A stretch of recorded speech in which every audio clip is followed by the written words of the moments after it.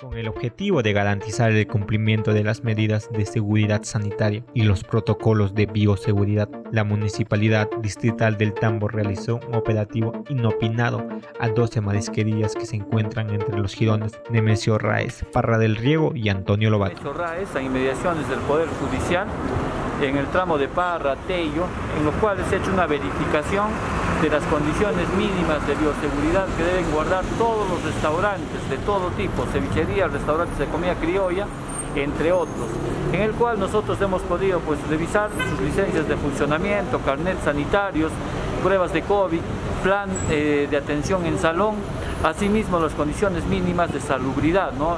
Es, es rescatable que hay personas que quieren trabajar bien, pero también hay algunas que no quieren respetar la ley. ¿no? Hemos, hemos... En esta oportunidad se verificó el cumplimiento de las medidas sanitarias ante esta pandemia, como es el espacio destinado al lavado de manos, una de las principales medidas de prevención de enfermedades respiratorias como el COVID-19, ya que es la principal medida de seguridad sanitaria, no solo por su eficiencia para prevenir el contagio por coronavirus, sino también porque funciona como una importante barrera de protección frente a otras enfermedades. Eh, en el tema de protocolos de bioseguridad, ¿cómo se ha encontrado, ingeniero?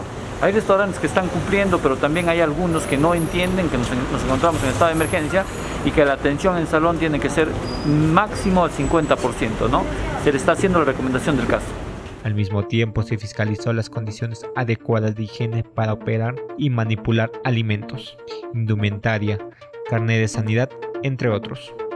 Las sanciones van desde el 10% de una UIT hasta dos UITs, dependiendo de la gravedad por el incumplimiento de la normativa vigente sobre higiene en establecimientos públicos. Finalmente, los propietarios tienen cinco días para que puedan regularizar las deficiencias.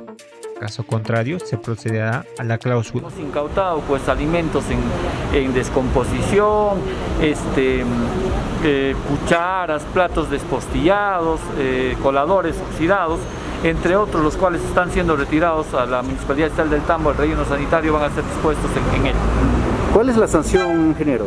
Las sanciones eh, eh, circulan entre el, eh, entre el 10% y las dos UITs de acuerdo a la, gravedad del caso. ¿no? Se les está dando cinco días para, para que los señores acrediten la documentación que les falte, para que inicien sus procedimientos, pero en el caso que estos no cumplan, vamos a proceder a clausurarlos.